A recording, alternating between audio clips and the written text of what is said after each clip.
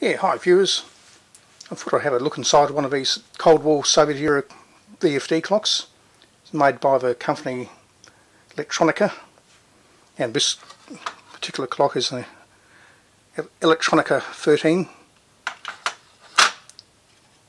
and it uses the individual VFD tubes.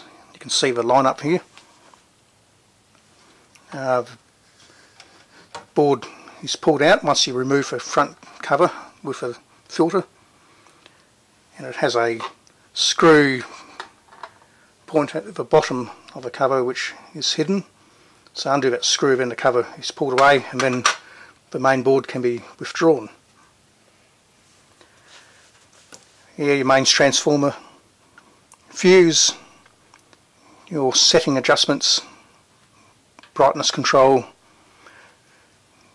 the crystal is over here and the, the calibration is by a potentiometer which is on the other side of the board.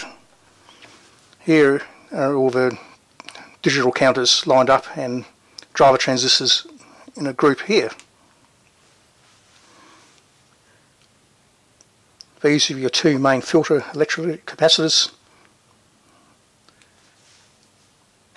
This is one I've taken out of a clock previously.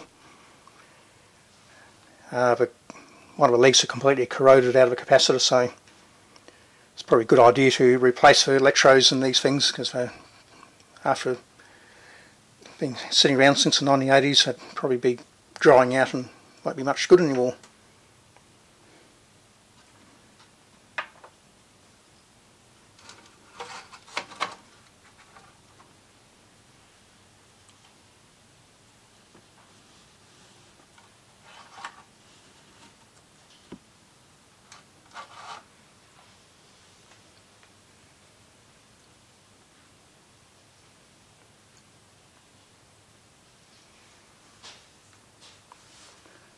So here are your display groups, your individual vacuum fluorescent display tubes.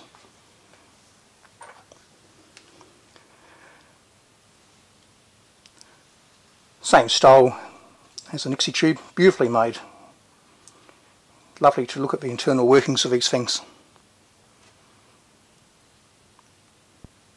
Yeah, the interesting thing about these VFD tubes is they make little ping noises when they're energized. It's probably just due to the heating of the filament. Anyway, I was trying to pick it up with a little microphone, so hopefully it'll come through on the audio.